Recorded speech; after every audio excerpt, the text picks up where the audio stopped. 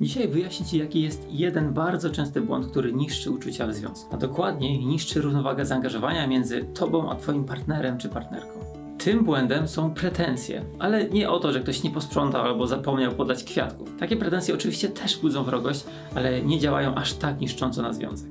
Najgorsze są pretensje o to, że nie dostajesz od partnera tyle jego czasu, uwagi czy miłości, ile byś chciał. Są to na przykład pretensje o brak czasu, o to, że nie odpisał, nie chciał się spotkać, czy na przykład musi już kończyć rozmowę i tak dalej. W takich sytuacjach partner daje ci sygnał, że potrzebuje więcej wolności, a ty ignorujesz ten sygnał i żądasz więcej uwagi i miłości od swojego partnera. Albo innymi słowami, twój partner pokazuje ci brak zainteresowania, a ty pokazujesz zainteresowanie w negatywny sposób, bo pokazujesz jak bardzo cię to boli. Dlatego pozbycie się pretensji o wszelkie formy braku zainteresowania po stronie twojego partnera to jedna z najważniejszych rzeczy, jakie natychmiast musisz wdrożyć.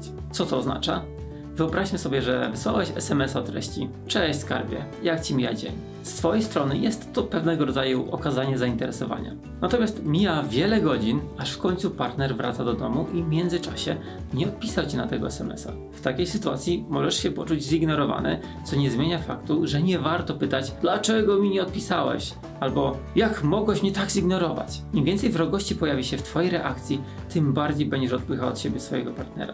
Jeśli do tej pory wszystko było między wami dobrze i to był taki pierwszy pojedynczy przypadek, to oczywiście możesz poruszyć ten temat i zapytać się partnera, co się stało, że nie dostałeś odpowiedzi. Oczywiście pod warunkiem, że zrobisz to spokojnie i bez wyrzutów. Natomiast jeśli czujesz, że partner już od jakiegoś czasu jest wycofany, to nawet zapytanie o to w taki spokojny sposób będzie tylko irytowało twojego partnera i odpychało go od ciebie. A drążenie tego tematu i tak jest ci niepotrzebne. Najprawdopodobniej nie dostałeś odpowiedzi, bo twój partner o tym zwyczajnie zapomniał albo nie chciało mu się odpisywać.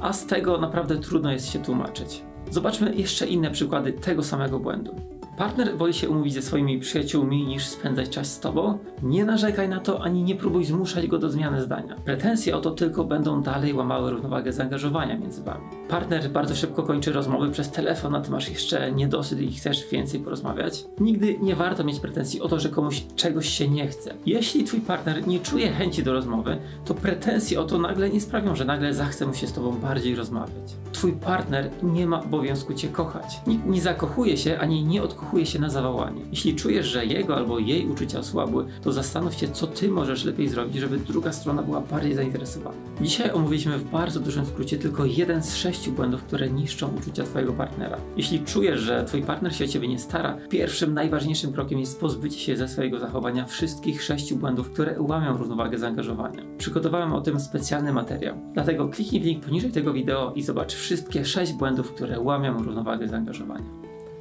I do zobaczenia. Robert Marchel.